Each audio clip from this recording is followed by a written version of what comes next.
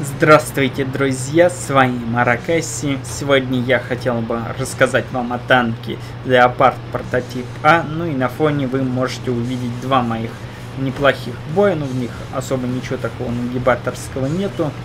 Ну, больше, в общем-то, я пока что ничего на этом танке такого не сыграл. Ну, хорошие бои были, я вам их показывал раньше.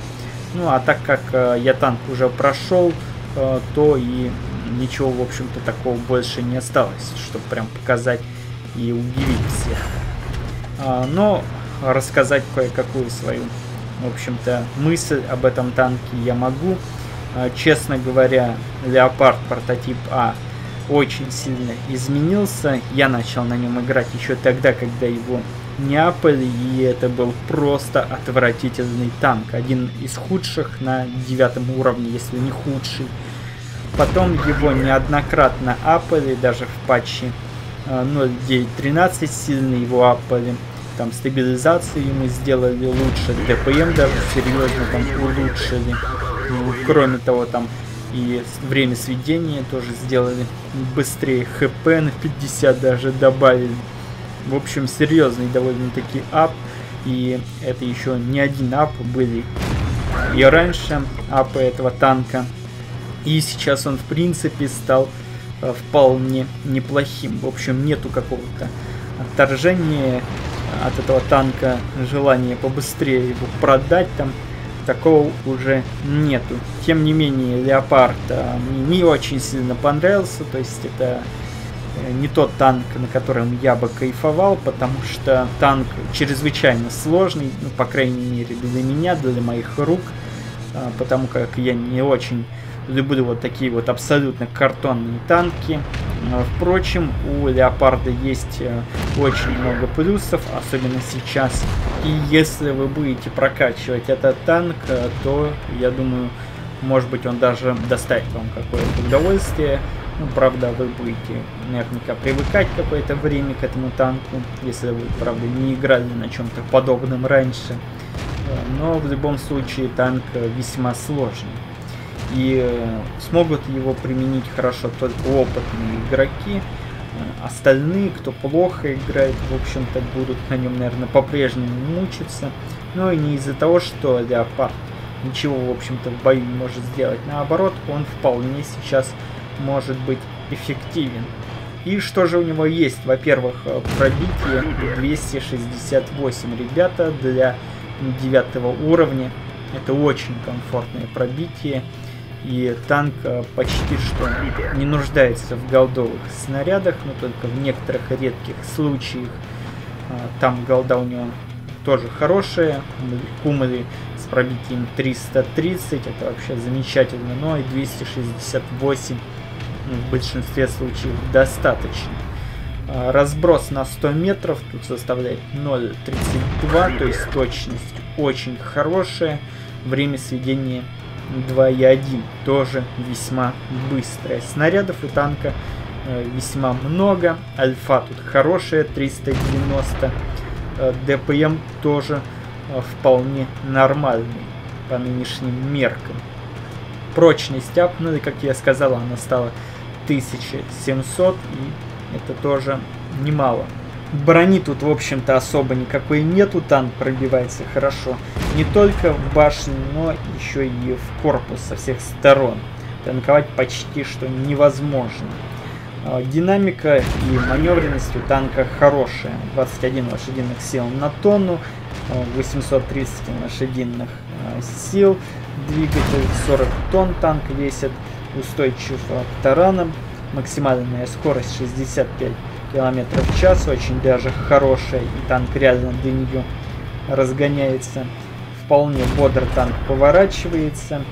А, ну и скорость поворота башни тоже приемлемая. Обзор хороший, 400 метров. У ВН а, тоже вполне неплохие. Конечно, прям играть от рельефа сложновато порой, но э, хватает для комфортной стрельбы. Для кого, в общем-то, этот танк подойдет? Ну, я думаю, подойдет он для скиллованных игроков преимущественно, а, которые играют в основном из кустов, скажем так. То есть особо не рашат, там э, не высовывается, стреляет из инвиза или стреляют из-за спин союзников.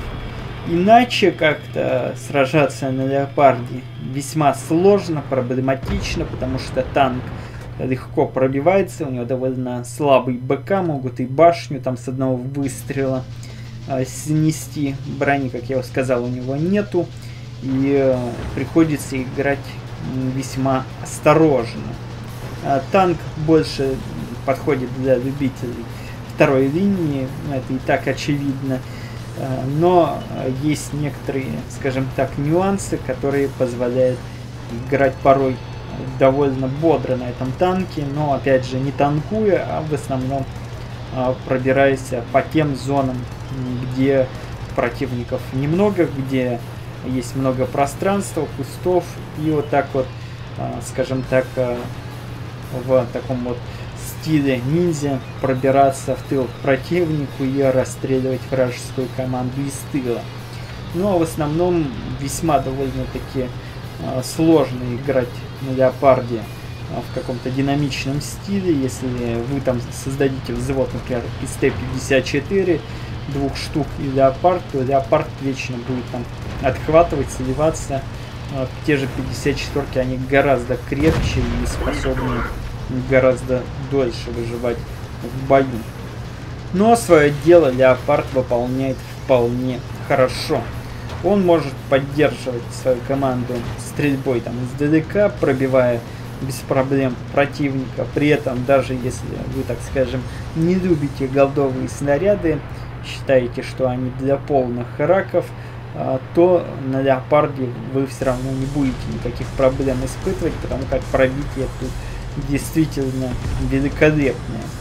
Э, поэтому, э, если вот так вот осторожно играть, не спешить, занять какую-нибудь позицию, пострелять, потом осмотреться, увидеть, что, в общем-то, все безопасно, можно ехать, ну и вот так вот э, пробираться дальше до новой позиции кустовой и оттуда расстреливать противников. Вот так вот я вижу, в общем-то, этот танк.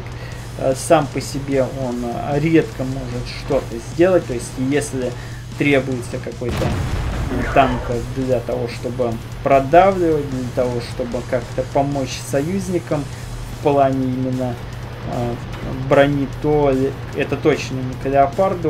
Это танк совершенно, скажем так, пассивный в этом плане.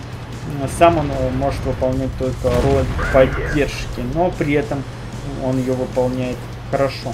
Но, правда, стоит отметить, что раньше Леопард вообще не мог себя проявить в каком-то активном плане, то есть этот танк был чисто для того, чтобы занять кусты и сидеть там весь бой, потому как только вы начинали ехать, у вас там прицел был на весь экран, а, то сейчас все стало гораздо, в общем-то, лучше.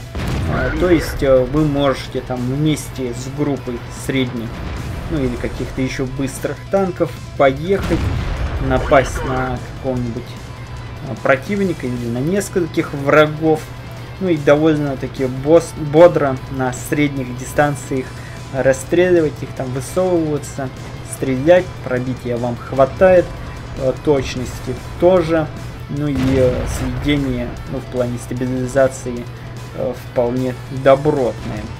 Конечно, опять же, нужно смотреть чтобы по вам никто не вел огонь, или это было минимально, потому как только, как только по леопарду начинает стрелять, э, то быстро он сдувается, отправляется в ангар, и его весь потенциал, в общем-то, не реализуется. А потенциал этого танка заключается в том, что он хорошо стреляет издалека.